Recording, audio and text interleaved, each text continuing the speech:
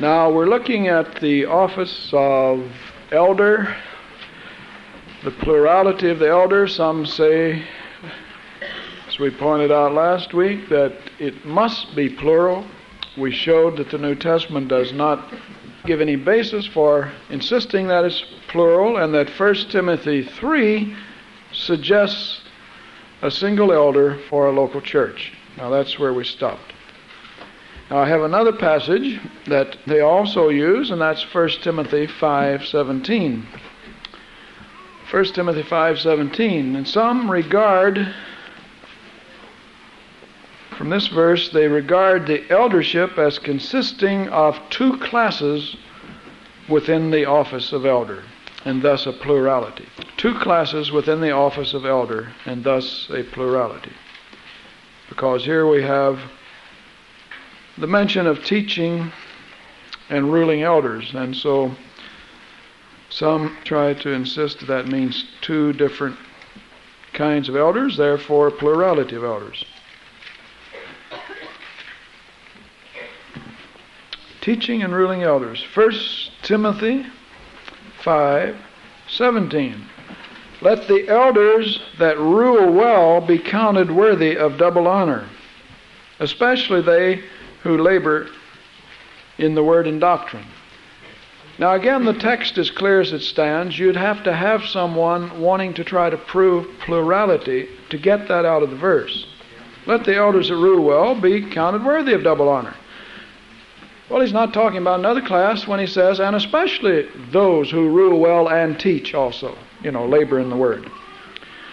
So you don't get two classes out of it to begin with. But anyway, the institutional church, some of them have added an ecclesiastical system on the basis of this verse, and they end up with teaching elders who act as pastors and ruling elders who are lay brothers, lay leaders.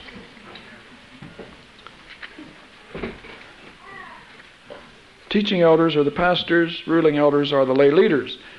The lay leaders may constitute an ecclesiastical order, like, for example, a deacon board or an official board.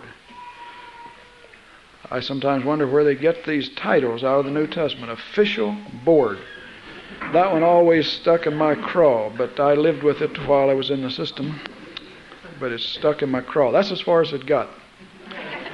But I didn't always rock the boat.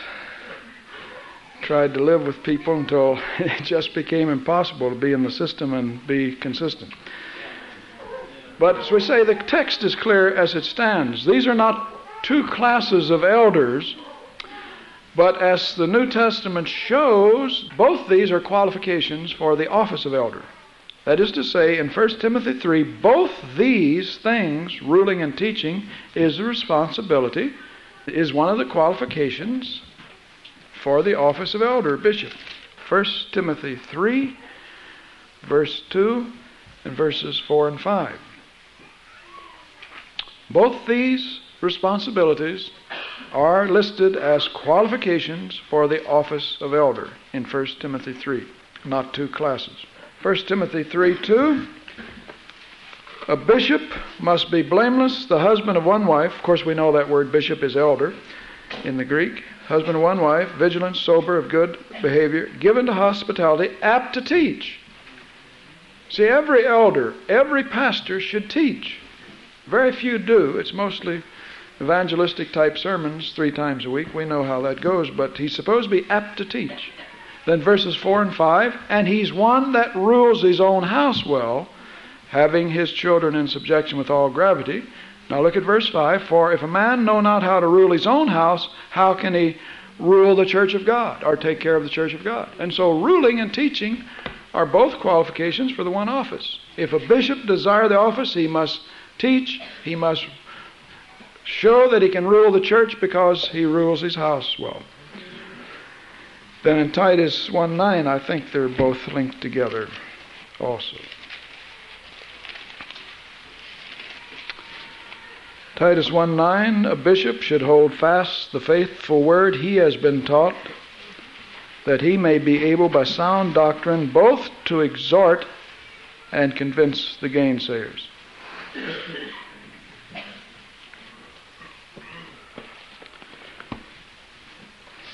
In Hebrews 13 7 and 17, there is a combination, again, a combining of the teaching and ruling.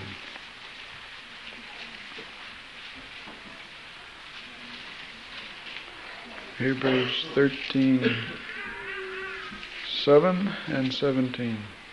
Remember them which have the rule over you, and who have spoken unto you the word of God. So there's the idea of the word of God linked with the rule. Obey them which have the rule over you, and submit to them. 1 Thessalonians 5:12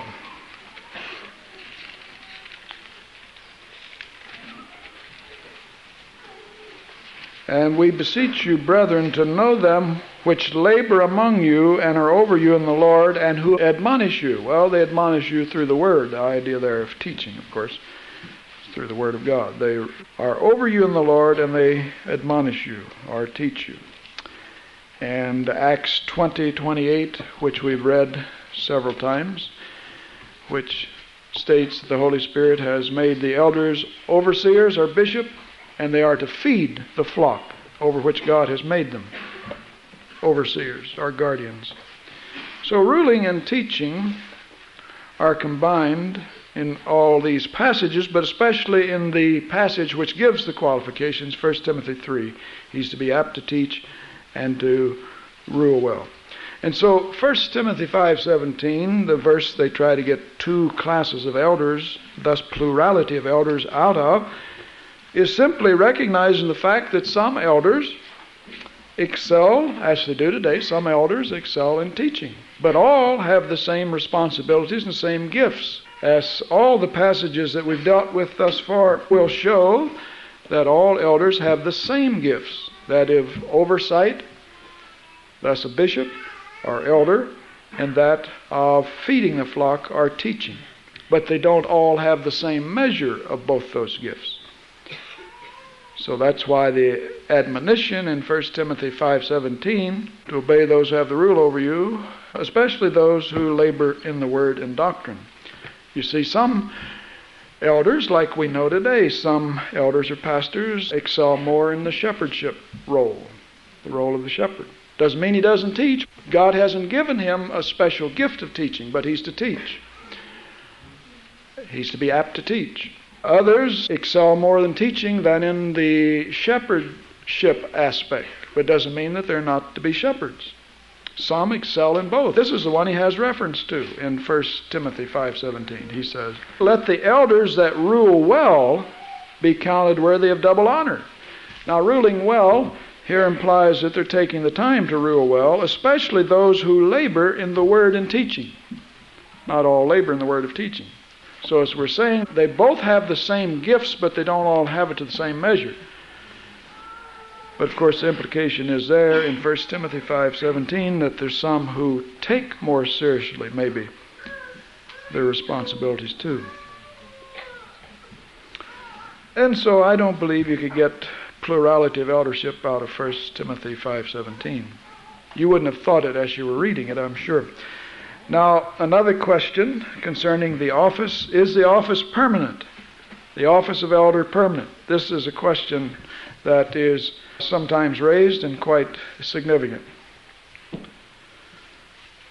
It's always good to know the answer to some of these questions, especially if you're in it, because if you don't know whether or not your appointment's from heaven, then men could tell you that you don't qualify and they could put you out not on the basis of these qualifications, but because maybe you didn't cooperate with the denomination the way they thought you should or whatever. Is the office of elder permanent? Well, the institutional church, we look at that first. It licenses and ordains its elders. And then appoints them, or elects them, appoints them or elects them by vote to the office of elder in a local church. In the institutional system, they both license and ordain their elders. And they either appoint them by a board or they are elected to that office in a local church. And in the denominational system, you can be removed from that office for any one of many reasons. and you're no longer an elder. You can even have your license revoked by the system, and you're no longer licensed to preach.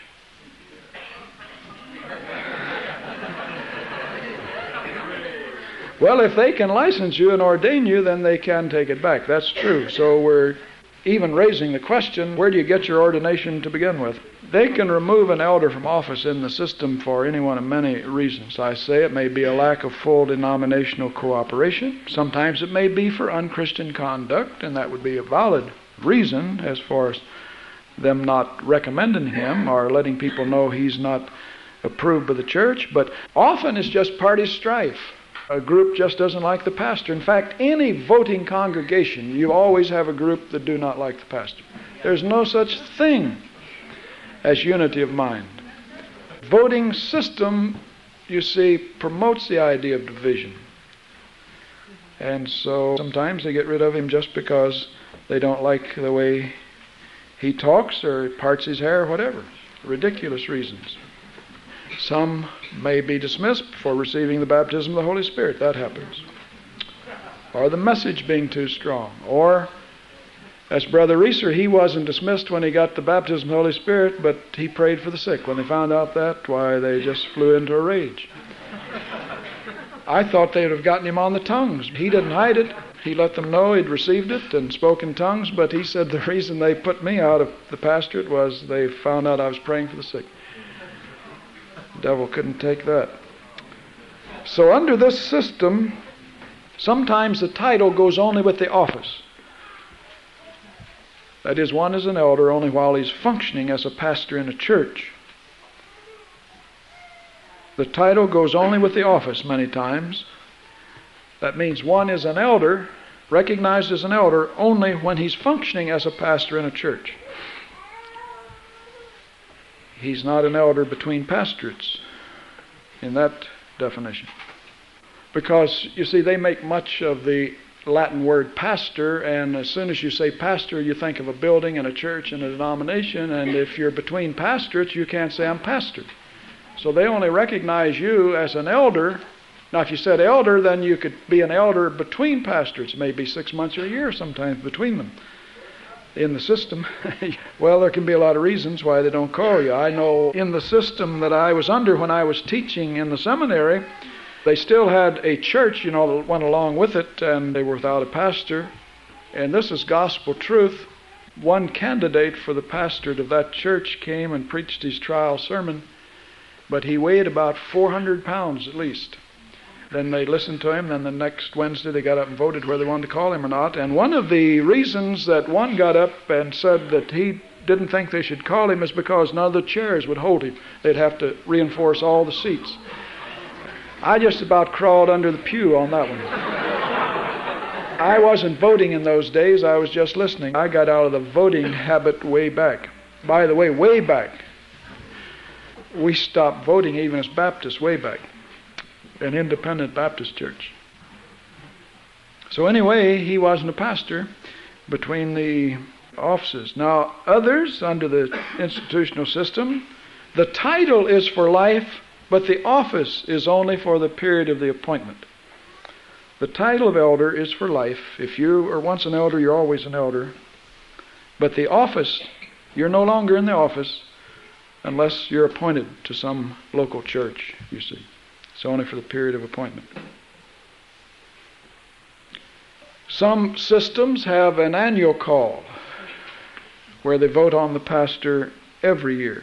I've always wondered why a pastor would ever take such a pastor. I would never go under such conditions. If they wanted to get rid of me in those voting systems that I have served under, they could vote me out any time they wanted, but I would never go with that pressure every year. You never know where you're going to be back. And they do it for that purpose. If they don't like you, the color of your ties, if you wear them or whatever, the party in power will get you out. You see, they vote on you every year. You're an elder only for one year at a time under the, that system.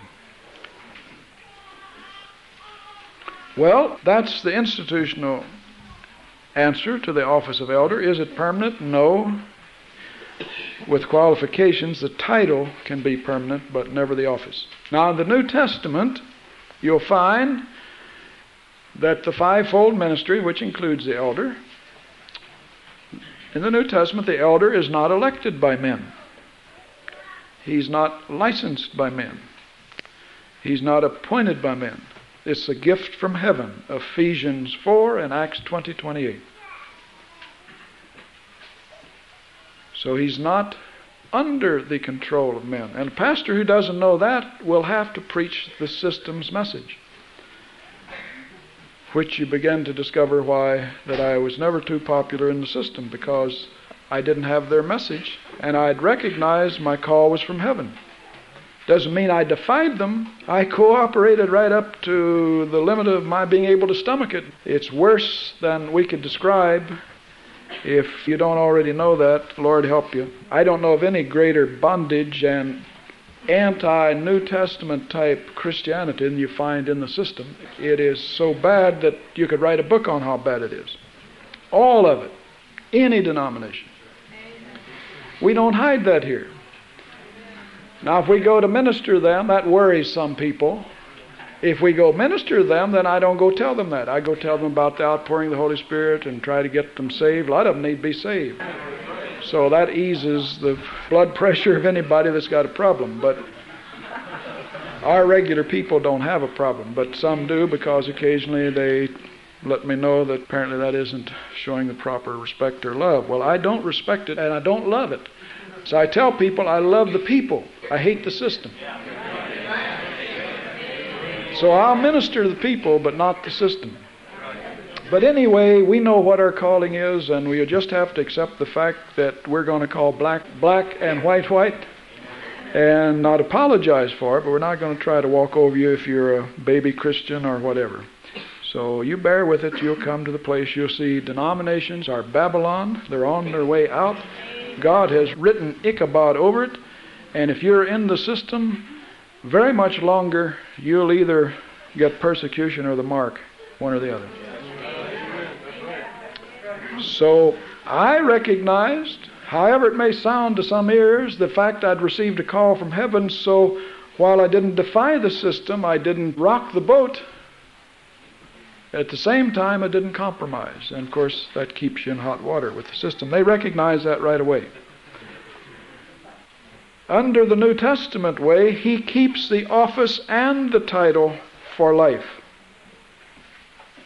Now, you find me a verse contrary to that, and we'll have a little discussion. In the New Testament system, an elder or any of the fivefold ministry keeps both the title and the office for life. He doesn't have to be serving anywhere to be an elder.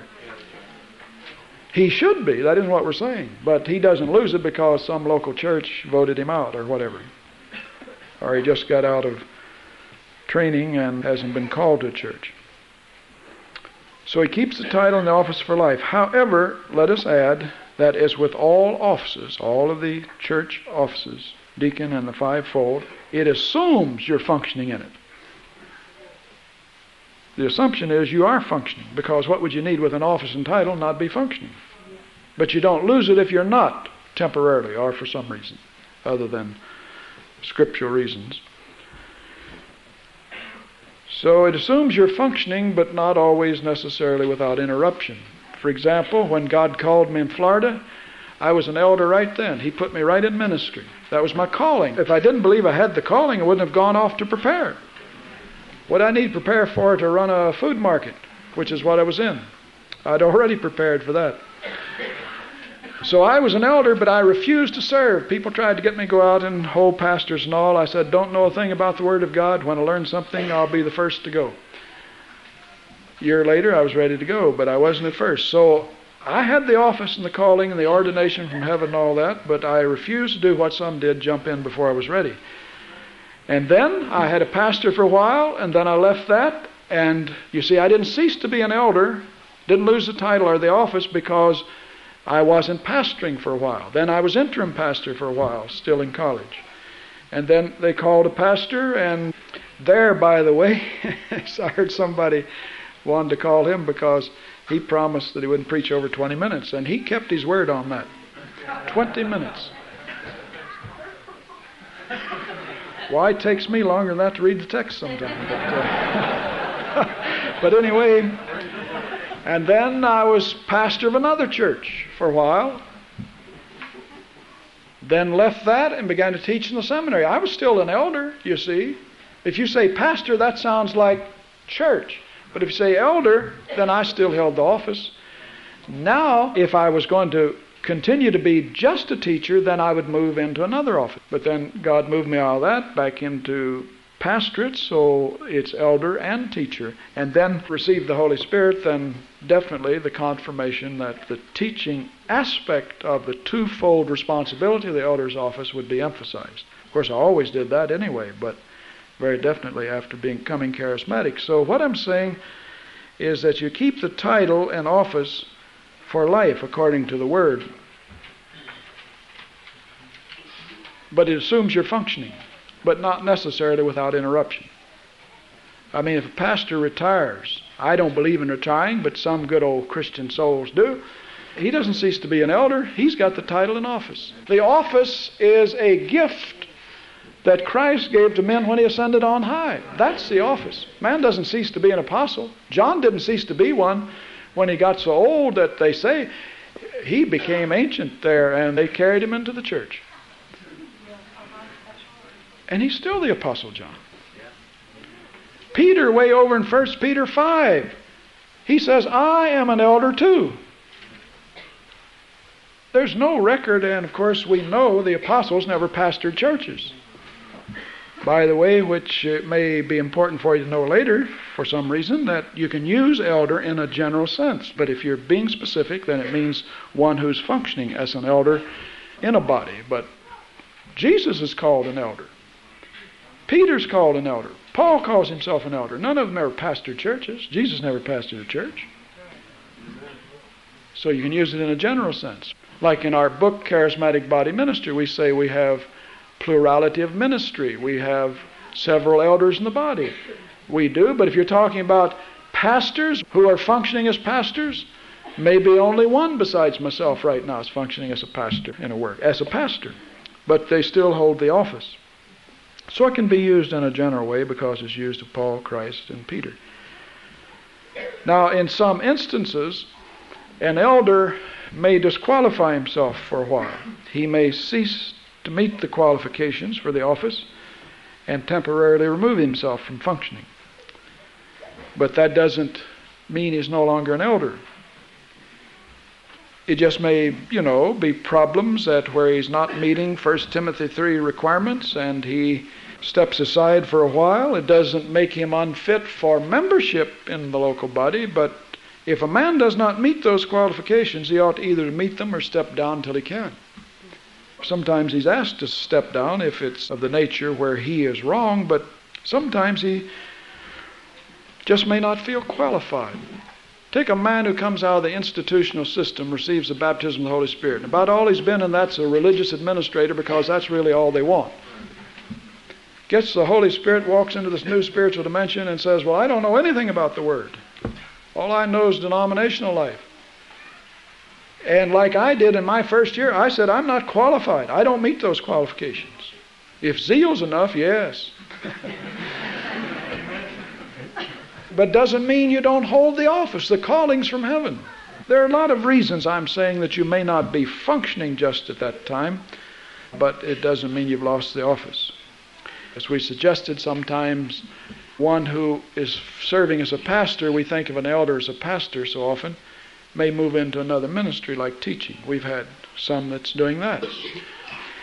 So they're elders in a general sense, but technically they're teachers. You see, if all I did was teach, travel and teach or whatever, then I'm a teacher. I'm not functioning as an elder. I'm only an elder in a general sense, like Peter said he is and Paul. They were apostles. But if you're talking about the office per se, then you have to be functioning in it as we said, not without interruption always, but be functioning in it, or you'd be no point in you being an elder. we're not thinking of those who are retired or whatever, are temporarily between pastorates. Now, here's an important thing keep in mind. Although an elder holds the office and title for life, yet he cannot exercise his authority unlike the apostle or prophet he cannot exercise his authority in other local churches unless asked to do so by the local body. See, he holds the title and office for life, But unlike the apostle or prophet, who are no wise bound to a local body with respect to their authority, unlike apostle or prophet, he cannot exercise his authority of eldership in a local body unless he's asked to do so. Now, the reason for that will become obvious if you've been in most churches or if you've been in church, because sometimes trouble has arisen when a retired minister, an elder, or one between pastorates joins with a local body and then begins to exercise his eldership and authority among the members of that body. Often meaning well, often meaning well, that isn't what we're saying. But it causes division in the body.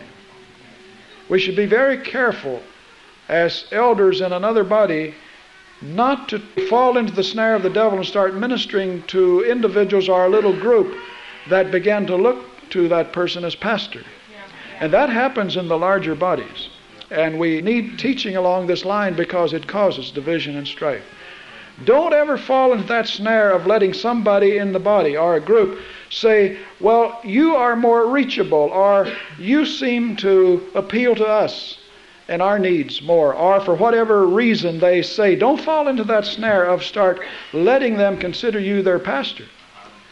Now, we know out of experience that these things happen. And we may know it when you didn't know we knew it. What we're not saying is that you can't exercise your rights of prayer and counseling and ministering to the whole body. We encourage the whole body to minister. That isn't what we're saying. In fact, I'd be disappointed if the elders didn't minister to this whole body. That isn't what we're saying. I've had people come up here and say, Well, I didn't even know I could talk to you. You know, they, they, have such a respect for you and all that. Well, praise God for the respect, but if you watch this big long line after each service, you'll see some either don't have respect or rather, or it doesn't make that much difference to them. That uh, is the way it should be. But for whatever reason, I mean, whoever's up here there's somebody else out there that can become your pastor if you're not careful. It just has happened. Let's leave it at that. But this doesn't mean they can't exercise their spiritual gifts. They are elders. We respect them for that. We, we appreciate that. And that's what we encourage. You've heard us encourage it over and over again. Don't wait to try to get to see me. There are other elders in the body or other ministry. And in fact, every one of us, for that matter, can minister to you. So it's good to know where the limits of our authority lie. Since my call an elder between pastorates, when I was in seminary, I was a member of a body there that was teaching the Word as they knew it, as best you can teach it without the Holy Spirit, but at least they were teaching the Word. Man with a doctor's degree, and like an old Pentecostal meeting, in the sense that it was in a store building, little old storefront, used to be a grocery store, seat about 50 people. Well, here I was in graduate school, but that really ministered to me. I never once, as an elder, ever tried to exercise any authority in there except to help, as I was requested to do when I would be, whether it's to fill in uh, and speak, or I even took the offering once and that sort of thing. To me, it's clear. I've never had to been taught this, and I don't mean that I know more than anyone else, but I just seem to know my place was not to overstep my authority, but to help wherever I could. Wouldn't have to be asked to help. It does happen and has happened that some look to someone else as their pastor. You see, you're falling into snare as a minister when you do that. You're the one falling into snare. Because you're saying there's a division in this body, there's something not right, and I'm going to minister to that, whatever it is that's not right. You should say, wait a minute, there's your pastor standing up there. He's your pastor. Now, if I can help you, I'll be glad. That's the way I'll do it. Hallelujah. All right, the ordination of elders. How about that? Been waiting for that, I know. Ordination. I trust it doesn't humble any elders because I've gone through the ordination service too, and I've had the hands laid on, and I've got their certificates at home, and the license, and the whole bit. So I've got as much to lose or more than some of you by saying it. But the Bible does not teach, New Testament does not teach an ordination of ministers. There's no formal ordination service of ministers in the New Testament. Now, if we can't prove it, then we wouldn't say it. The King James Version, in the King James Version, you have the word ordain used five times. Translated five times, ordain. With respect to ministry, five times. All five of those times, you've got five different Greek words. And none of them mean ordain. Well, it's good to know what we need to know. So, what we're saying is that the English word ordain in the King James Version never refers, the words that are actually used in the Greek never refer to a ceremony a formal ceremony which we call in the churches an ordination service. Of course, that shouldn't be any problem to anybody that has discovered tonight. If this is the first time you discover it, you get your ordination from heaven anyway. People ask me about ordaining them from this church. There's no basis in the New Testament for it. We've never done it. We're not going to start it. I tell them if you've got a call, then you're already ordained from the one who does the ordaining, which is Jesus. Now, we may lay hands on somebody if the Lord directs, but we'll get to that later. We're not saying there isn't something that we see there that they're doing, setting people apart sometimes. Man cannot ordain a man. I trust that we've said sufficient that you already know what we're getting at. But there are five different words, all translated as ordain in the King James. Never do they refer to formal service of ordination of ministers. I'm not going to write the words, Greek words. I'll give you the passages and tell you what they mean, and those of you who are studying Greek can go look them up for yourself in the passage. Mark 3:14, Acts 1:22, Acts 14:23, 1 Timothy 2 7 and Titus 1 5. All right, now we can look at those and then I'll tell you what the Greek term is.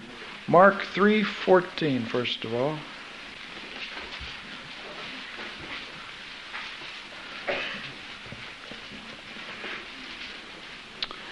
Now what does it say? And he ordained 12 the apostles. Jesus ordained 12.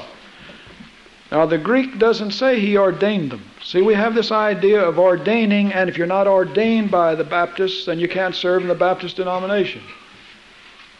First thing the state wants to know if you take a deduction on income tax for your expenses going to meeting and back, are you ordained? No, then you can't deduct that. Anyway, this is the ordaining of the twelve. The word is to make. It's the Greek word to make. I'll just give you the one and then I'll not write the others. Poi eo means to make or do. So it says he made 12 apostles. All right, that's the first use. Now let's look at the second. He made the 12 apostles. The word means to make or do, not ordain. Acts 122.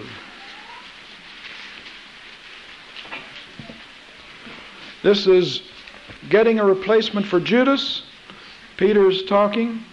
He said, It must be someone. Let's begin with verse 24. Wherefore, of these men which have accompanied with us all the time that the Lord Jesus went in and out among us.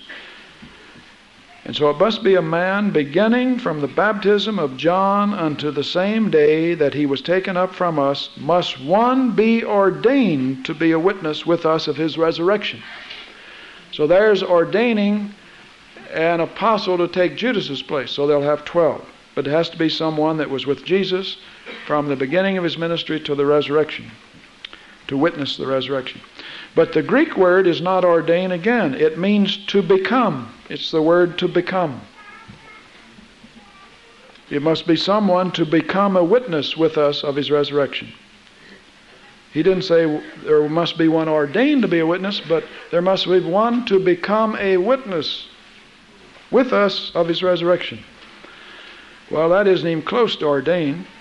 They're just asking God to choose one to become a witness with them.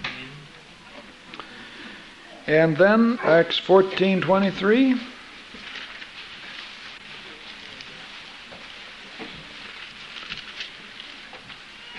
And when they had ordained them elders in every church.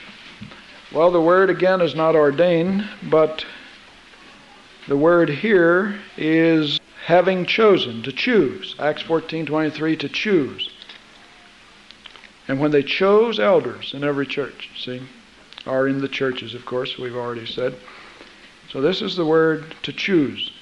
So again, it's not ordained like a formal ceremony. We're not saying they're not appointed. In fact, the whole idea is to appoint someone to an office and not ordain, because that has taken on a denominational meaning that isn't in the New Testament. Then 1 Timothy 2 7.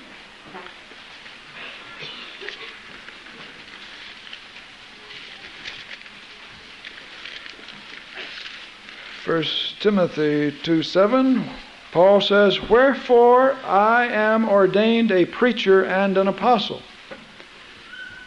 What he actually said was, I was appointed a preacher and apostle by Jesus, of course. I was appointed. The word is to appoint. And the last reference, Titus 1 5. Paul speaking to Titus, For this cause left I thee in Crete, that thou shouldest set in order the things that are wanting, and ordain elders in every city, as I have appointed thee. What he said, appoint elders in every city, as I have appointed thee. Appoint them. So, in other words, nowhere does ordain occur in these passages that are translated ordain. So, if we sum all that up, we're talking about the usage here. What do we see where ordain is in the translated in these passages. We have to make one an apostle. We have to become a witness as an apostle. We have to appoint as an apostle, preacher and apostle. And then only two with reference to elders, and one says to choose elders, and the other appoint elders. Now, where you get the service from, I don't know. I can't even, by any stretch of the imagination, and I suppose I've studied the Word as much as anybody in the church. And I'm thinking now from Matthew all the way through Revelation, I can't think of any place where you could find an ordination service going on like we see in our churches. Ordaining men, licensing them, let them preach a year and prove themselves, then ordain them as an elder of that denomination. So we'll have only two references to elders in these five, and they are appointment in those cases, choosing and appointing. Now, what we do have, what we do see, what the New Testament does reveal is a laying on of hands, not a ceremony.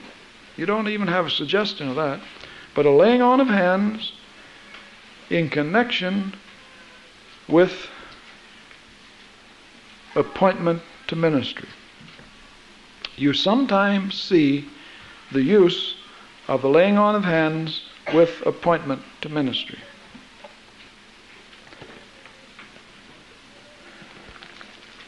Now that's sometimes. Not in any of those passages we looked at, by the way. I'll give you the three where you see the laying on of hands. Acts 6 6. Acts 13 3. And 1 Timothy 4 14. All right, we'll look at those because here we do see there was something that took place sometimes that was significant, and that was a laying on of hands. In Acts 6, verse 6, this is the early church, and these are not elders. This is not the fivefold ministry. These are servants going to help in the needs there of the church, the work. I'm sure you're familiar with the passage. There were problems there about feeding and daily ministration. The twelve called the multitudes and said, It's not reason that we should leave the word of God and serve tables. Wherefore, brethren, look out among you seven men of honest report, full of the Holy Spirit and wisdom, that we may appoint over this business. Not ordain, but appoint. And then verse 6 When they set them before the apostles, and when they had prayed, they laid their hands on them.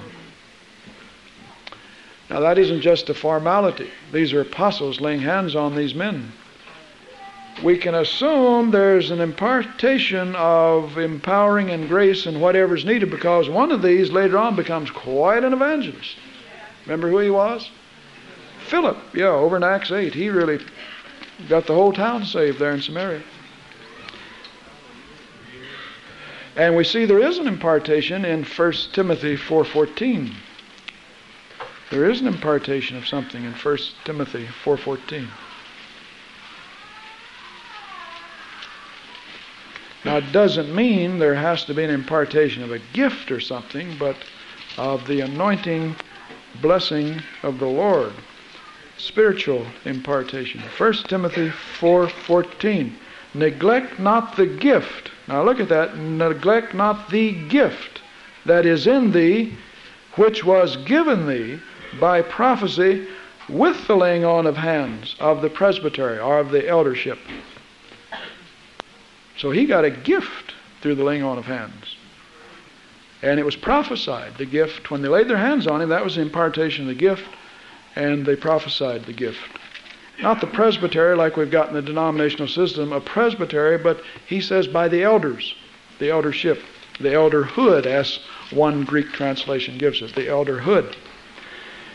Then Acts 13:3 is the other laying on of hands in connection with appointment or impartation of something. This is Paul and others at the church at Antioch. There were in the church in Antioch certain prophets and teachers. Barnabas, another one was Saul among that list. And as they ministered to the Lord and fasted, the Holy Spirit said, Separate me, Barnabas and Saul, for the work whereunto I've called them. And when they had fasted and prayed and laid their hands on them, they sent them away. So they, being sent forth by the church or the elders, no, by the Holy Spirit, departed. And so the laying on of hands is significant, but twice we're told it's the Holy Spirit who does the separating, the appointing, and the sending forth. And so in Acts 6 6, we have appointment through the laying on of hands. In Acts 13:3 we have separation unto the work the Holy Spirit appointed them to. They didn't appoint them or send them, but they separated them unto the work they'd been sent to. And then in 1 Timothy 4:14 you have an impartation of a gift of the Spirit.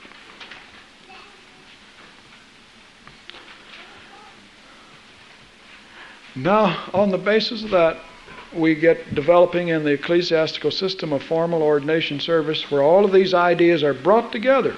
You know, they're not even together, but they're brought together. And they take the King James word ordain, which doesn't occur in those passages that we gave you, and then take the idea of the laying on of hands. And while today the denominations will disavow anything being imparted, yet it is a sacred ceremony that they must lay hands on your head, though they don't believe that anyone but an apostle in the first century could have really imparted anything. But they do have the formality, and it doesn't occur in the New Testament. You can't get what we see in our churches out of those passages, and that's where they get it. Now, the elements you see here in the laying on of hands, which does occur, and it doesn't say always, but we see it occurring three times here, what we see, the elements in that, is the imposition of hands and prayer, apparently praying each time they do it, and sometimes fasting in connection with it. So I'd say we'd be led of the Spirit if we're to lay on hands whether or not we should pray and fast, as they did in Acts 13. Again, you can't build a formal way of doing things from those passages. Another thing we see about this the laying on of hands is by the ministry, by the elders. 1 Timothy 4:14 it was the eldership. The elders. In Acts 6 it was the apostles. And in Acts 13 it was the prophets and teachers. So when it's to be done, apparently it is to be done by the elders. When you're being separated, a gift imparted, appointed to an office, then obviously the Lord would use ministry to do it, though He wouldn't have to be limited to that.